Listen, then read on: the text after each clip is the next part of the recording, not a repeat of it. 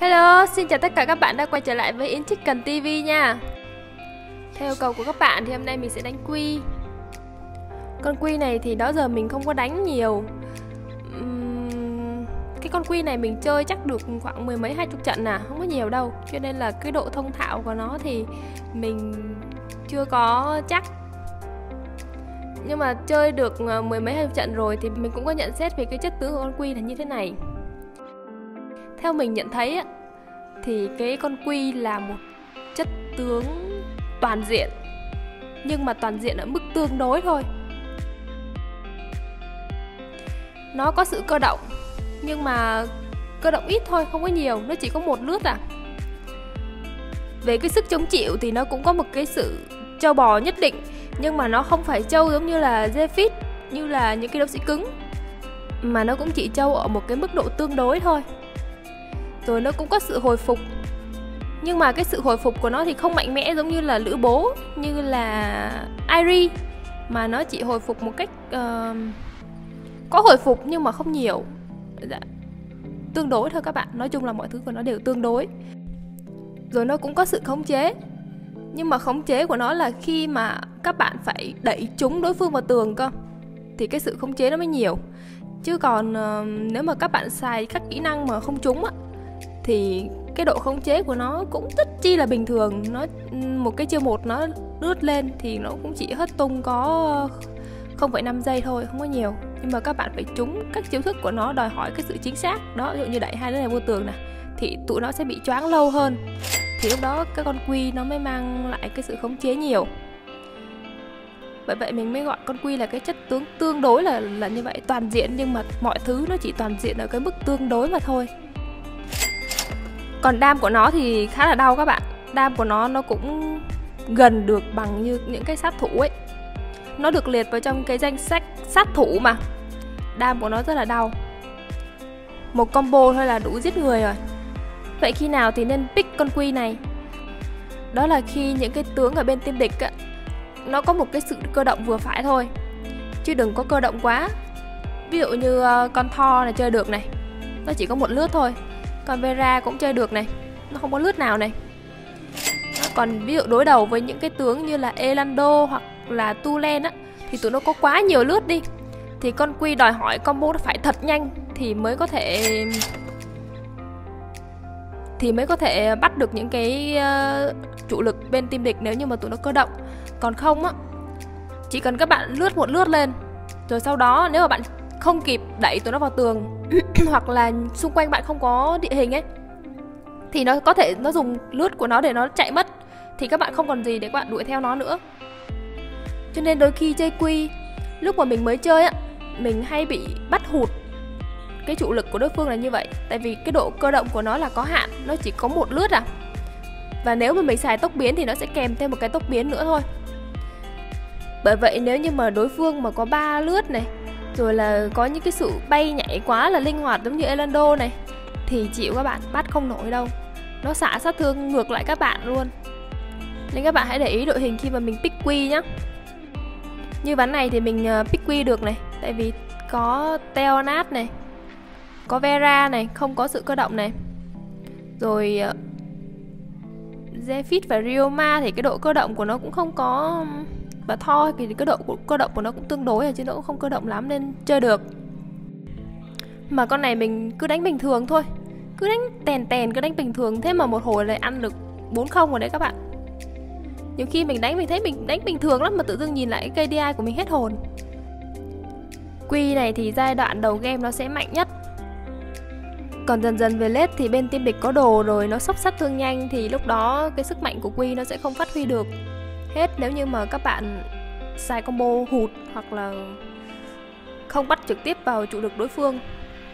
Các bạn có thấy con teo nát không? Mình sẽ chỉ các bạn combo này. Chiêu một lướt lên, cuối đẩy đối phương vào tường. Sau đó là chiêu hai để giảm giáp.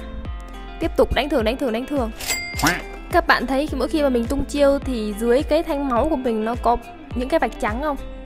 Những cái vạch trắng đó là nó sẽ biểu thị cho mình sẽ có một đòn đánh thường cường hóa. Mỗi một vạch trắng là một đòn đánh thường đòn đánh thường nó sẽ tăng tốc đánh này nó sẽ đau hơn này và đồng thời nó sẽ giúp quy hồi phục máu nữa. Cho nên đôi khi các bạn xài hết combo rồi nhưng mà nó chưa chết ấy, thì các bạn cứ đánh thường. Và nó tích được tối đa là 4 đòn đánh thường cường hóa nha. Cái combo thì là vậy chiêu một lướt lên để hất tung đối phương sau đó là dùng chiêu cuối đẩy đối phương vào tường hoặc là đẩy đối phương về đằng sau mình để cho những cái đồng đội của mình đánh. Và sau đó là dùng chiêu 2 để giảm giáp và gây sát thương lên địch. Tiếp tục là đánh thường đánh thường đánh thường. Cái chiêu cuối ấy, nó có một cái là nó sẽ đẩy những cái đối phương lân cận mình theo cái hướng mà mình vút chiêu. Chứ không phải như con rát nha đôi khi mình mới chơi con quy á mình cứ phải là ở ừ, đứng sau lưng nó xong mới bắt đầu đẩy nó về là không phải. Đôi khi mình chỉ cần đứng trước mặt nó thôi nhưng mà mình vút chiêu cuối là tụi nó cũng sẽ bị đẩy theo cái hướng chiêu cuối của mình á. Chứ kiểu như nó sẽ đẩy những cái đứng địch lân cận ấy chứ không phải là mình đứng đằng sau lưng đứa nào mình đẩy thì đứa đấy mới bị về đâu nha. Cái đó là chưa cuối của nó các bạn để ý một xíu. Lúc mà mình mới chơi quy ấy làm gì cứ lướt lên mà kiểu lướt chưa tới tầm ấy đâu có dám đẩy đâu. Tại vì thấy như vậy mình cứ sợ là nó không về ấy, nhưng mà thật ra không phải chỉ cần nó đứng cạnh con quy thôi là chưa cuối mình vuốt theo hướng nào là nó sẽ đẩy tướng địch về hướng đấy và khi mà các bạn đẩy chúng tướng địch vào tường á, thì ngay lập tức chiêu cuối các bạn sẽ được phục hồi. Và lúc này các bạn sẽ được sử dụng chiêu cuối để lướt thêm một khoảng cách. Nó giúp cho các bạn thu hẹp khoảng cách nếu như mà đối phương uh, sau khi mà nó hết choáng nó chạy trốn ấy. Nhưng mà đó là khi đẩy vào tường nó mới hồi phục ngay lập tức nha. Còn nếu như mà các bạn đẩy đối phương mà không có vào tường thì phải tầm hình như 3 giây sau nó mới hồi chiêu cuối để cho các bạn lướt tiếp thêm một lần nữa thì nói chung là nó không tối ưu được cái combo của con quy và không tối ưu được cái cái sự cơ động của con quy đôi khi là đợi 3 giây thì nó chạy mất tiêu rồi. Theo cái combo thì là một hất tung cuối đẩy vào tường hoặc là cuối đẩy về cho team mình đánh. Rồi sau đó tiếp tục ờ, dùng chiêu 2 để giảm giáp và đánh thường đánh thường. Nếu mà chiêu cuối hồi thì sẽ uh, lướt chiêu cuối theo để đuổi theo đối phương hoặc là lướt chiêu cuối để bỏ chạy đúng không? Nhưng mà trong cái thực chiến ấy, đôi khi là các bạn lướt lên nhưng mà mình không có đủ cái điều kiện để mình sử dụng chiêu cuối ấy. Thì lúc đấy các bạn đừng có xài, các bạn đừng có cố xài nha. Chiêu cuối hãy xài khi mà nó có mục đích thôi. Đừng có cố xài đó, ví dụ như cái pha này mình cố mình xài này rồi rồi được gì không? Không được gì hết. Tim tụi nó lao vào tụi nó đập mình, còn con Vera thì mình lại đẩy nó ra xa nữa. Nhưng đôi khi nếu mà không xài được chiêu cuối thì đừng xài các bạn. Cứ để đó đã. Khi nào mà có những cái thiên thời địa lợi thì mình hãng xài nếu mà trong cái trường hợp mà không xài được chiêu cuối thì các bạn cứ lướt lên hất tung. Sau đó là đánh thường đánh thường tại vì mỗi lần hất tung được đối phương thì bạn sẽ có được hai đòn đánh thường cường hóa mà. Sau đó bạn tiếp tục xài chiêu 2 chiêu 2 để giảm giáp đối phương và tiếp tục sẽ có hai cái đòn đánh thường cường hóa thì các bạn lại đánh thường đánh thường rồi rồi quay lại thôi. Đến khi nào mà cảm thấy có cơ hội thích hợp thì các bạn hãy xài chiêu cuối. Còn một cái thứ mà nó sẽ giúp con quy nó trâu bò ở trong giao tranh á đó chính là khi mà nó đánh trúng tướng địch, đúng không? Các bạn nhìn dưới chân nó sẽ có hai cái bông hoa, các bạn thấy không? Khi mà mình tung chiêu trúng với mục tiêu ấy thì nó sẽ có được một cái bông hoa đấy.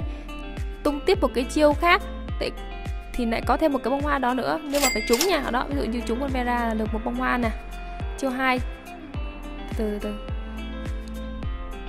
Thì khi mà có một cái bông hoa đó thì nó sẽ giúp cho các bạn trâu bò hơn với sát thương vật lý úp giáp vật lý nha. Nó sẽ tăng giáp vật lý cho các bạn. Hiện tại mình đang có ba hoa này. Thì cái con quy này nó trâu ở chỗ là nó sẽ càng đánh trong combat thì nó sẽ càng trâu. Bởi vì càng đánh càng tung chiêu thì nó càng có cái nội tại ở dưới chân mà. Thì nó được búp giáp nhiều hơn, nó sẽ trâu hơn. Thì cơ bản là con quy nó như vậy thôi. Còn cái mà mình muốn nói cho các bạn ở trong video này á, là một cái điều khác cơ các bạn thấy đầu game mình rất là xanh không? Mình giết bốn năm mạng. Nhưng mà sau đó thì sao? Ở đầu game mình rất xanh nhưng mà đến đoạn tầm giai đoạn giữa game là bắt đầu mình bị chết mất hai mạng rồi này.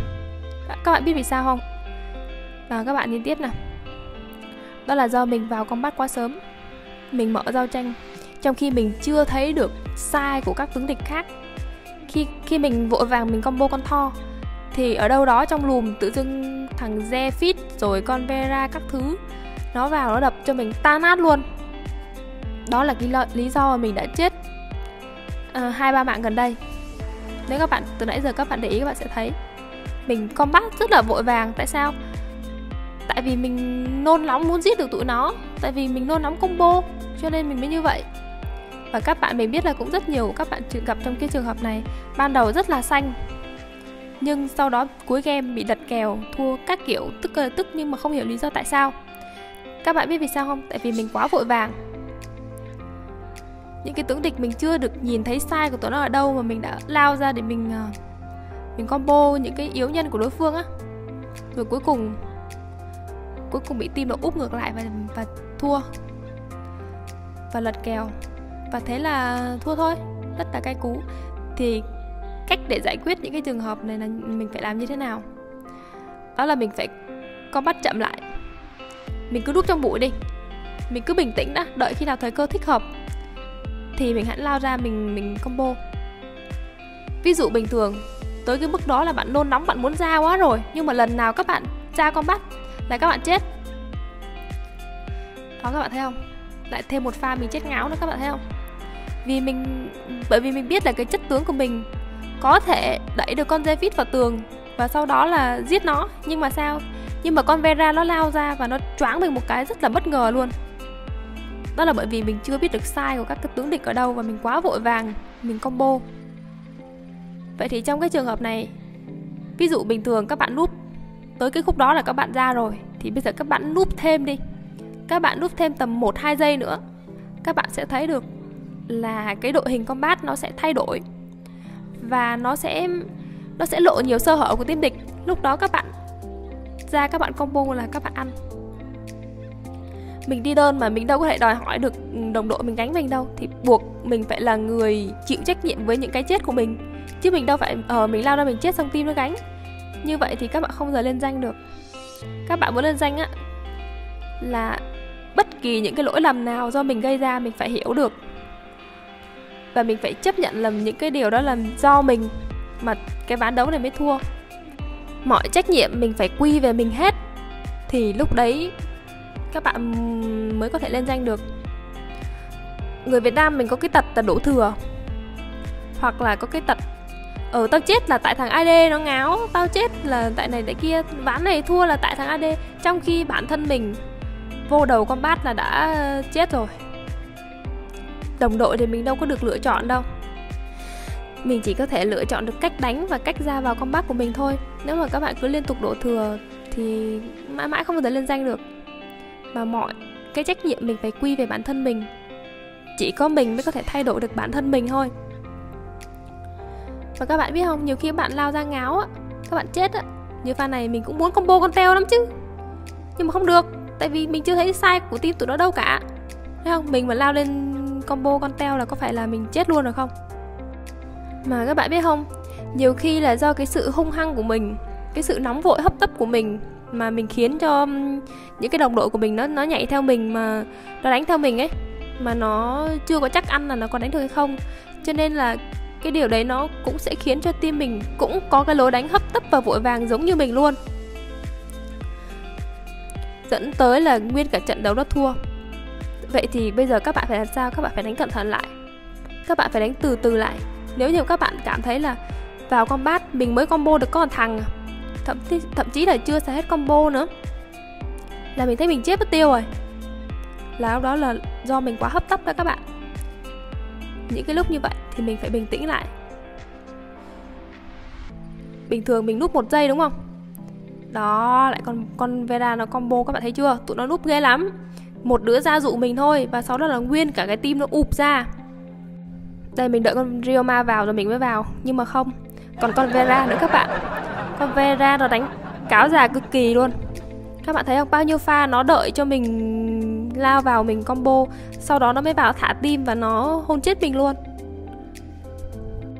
Bây giờ đã là cuối game rồi. Nếu như mình tiếp tục cái lối đánh mà hấp tấp vội vã như thế này á chắc chắn là mình sẽ thua ván đấu này. May hồi nãy á, là chỉ có ba đứa chết thôi, còn vẫn còn Aoi và Zata thì mới có thể ở lại đép lính, mới cứu được cái ván này. Còn nếu không á, năm đứa cùng lao ra cùng chết thì có phải là kết thúc trận đấu và thua rồi không? Thì cái điều mình muốn nói là các bạn hãy bình tĩnh lại, đừng có hấp tấp. Ví dụ bình thường các bạn nấp 3 giây thì thì bây giờ vô cái combat thì các bạn nút thêm một hai giây nữa đi.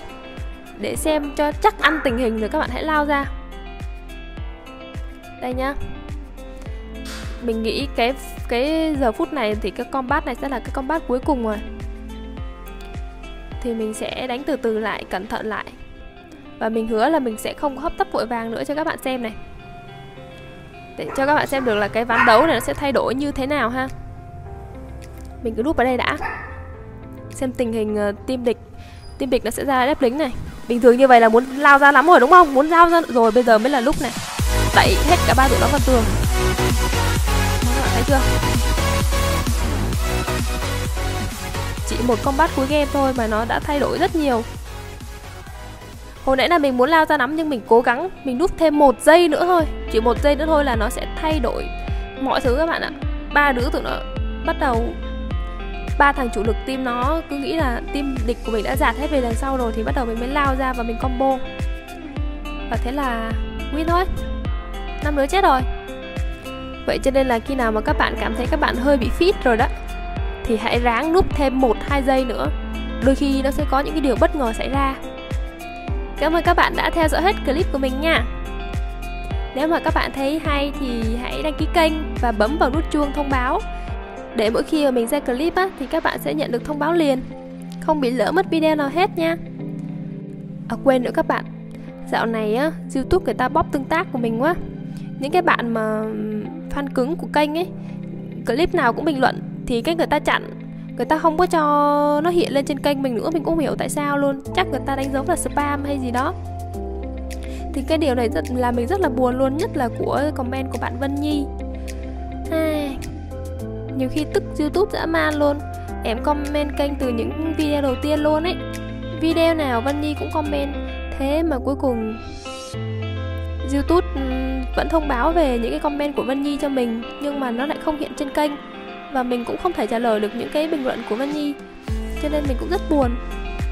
Thôi, chào các bạn nha. Bye bye.